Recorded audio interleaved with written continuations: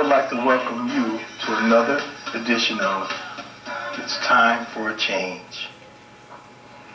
You know, a lot of times people come up to me and give me suggestions for shows or have a great idea for me to interview somebody, and, and I really listen.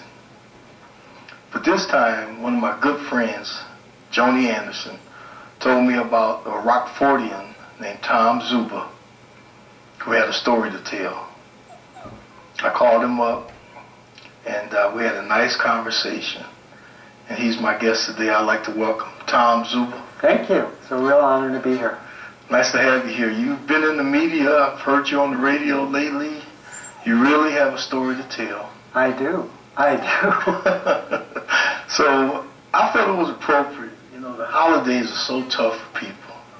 Um, I feel it was appropriate that we wait and this show air around the holiday season. We talk about things that affect all of us at some point in time. But uh, you've been through it, and I've recently been through a lot of grief, a lot of yeah, pain. Yeah, uh, absolutely. Why don't you tell my viewers a little bit about you, and then tell my viewers your story and how it happened to you. Okay, uh, really, really briefly. Okay. Um, in 1990, uh, my wife and I were married, recently married, had an 18 month old daughter. Life was spectacular. I mean, we were happy living in Oak Park. And very suddenly, our 18 month old daughter, Erin, got sick. Um, took her to the hospital. We were transferred to Rush Press uh, right there in the Eisenhower, and she died. Uh, she died after about a five day uh, journey. Um, she died from something called hemolytic uremic syndrome. We, we didn't even know what that was. Um, we went on and uh, you know pulled our life back together, um, dreamed some new dreams. We had two kids, uh, a son Rory and a son Sean. And uh, a couple days after Christmas of 1998, my wife turns to me and asks me to take her pulse uh, telling me she feels like her pulse is racing. Before I know it, I'm calling 911. We're both in the ambulance. 52 hours later, on New Year's Day, she's dead. Um, what was remarkable to me is that the next day would have been our daughter's 10th birthday. So I have a three-year-old and a seven-year-old staring at me. You know, what are we going to do now, Daddy? Really? Uh, my wife was my best friend. My wife was my business partner. What was her name? Trish. Trish. Trish.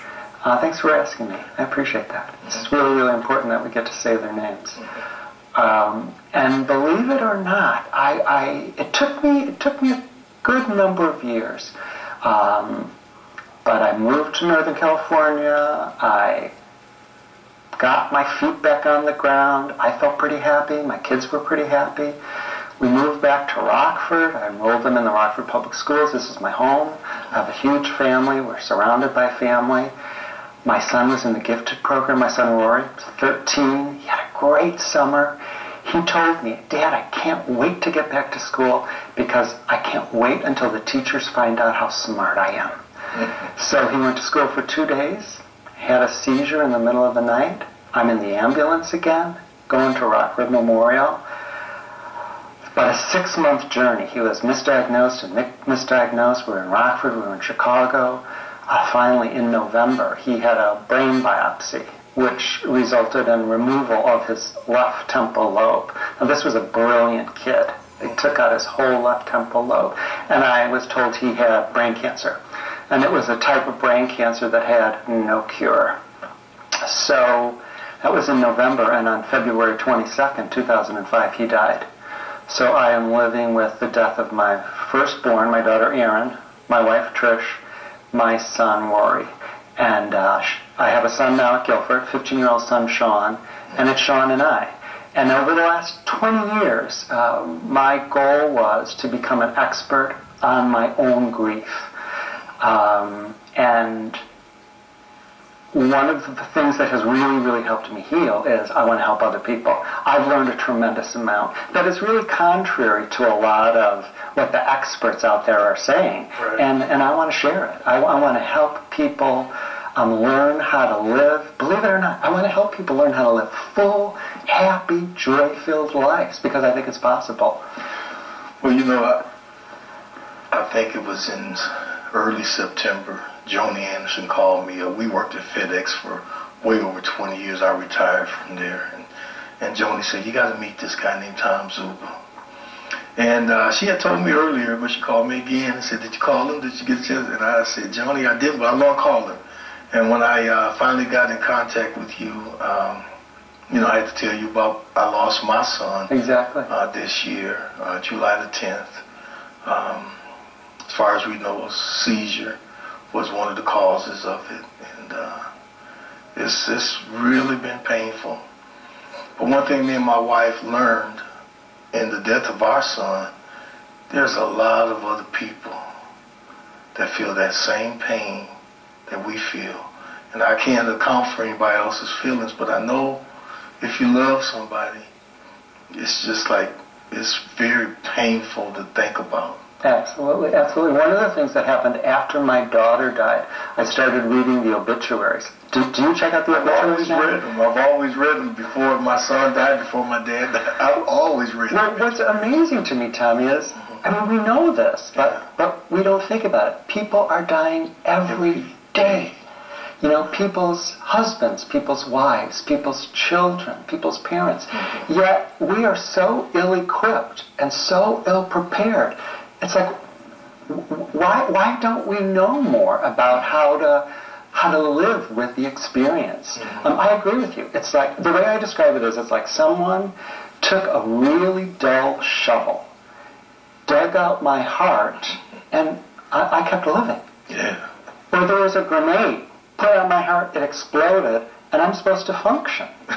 You know? Well, I, I tell you, I, I, I know what you mean. But you know, one thing you said about the obituaries, I've always had a, habit of reading. I got a good friend I work with named Bobby Williams. I hope he don't get mad at me mentioning it.